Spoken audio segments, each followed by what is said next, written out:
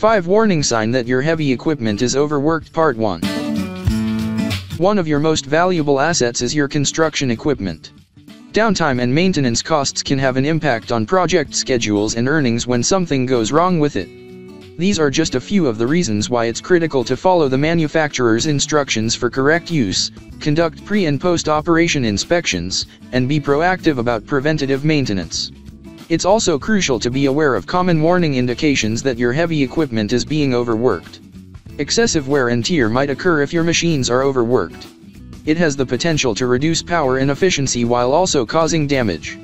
This reduces productivity, needs additional maintenance and repairs, necessitates more frequent part replacements, and increases costs and profits in various ways.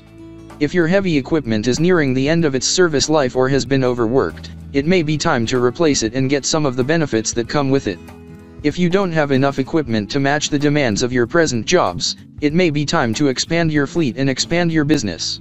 So, to protect your productivity and earnings, keep an eye out for these warning indications that your heavy equipment is overworked. Number 1. The warning lights have turned on. Warning lights are an important warning symbol, which should come as no surprise. The equipment's sensors have discovered a problem, and we're alerting you about it. Ignoring, or concealing with electrical tape, a bright warning light will not solve the situation. The equipment is likely being overworked and underserviced if the indication lights come on more frequently than usual. And it's even worse if they go out without the issue being resolved, it signifies the light has most likely burned out due to being on for too long or too frequently. For more information call 469-370-7501 or visit interstateheavyequipment.com.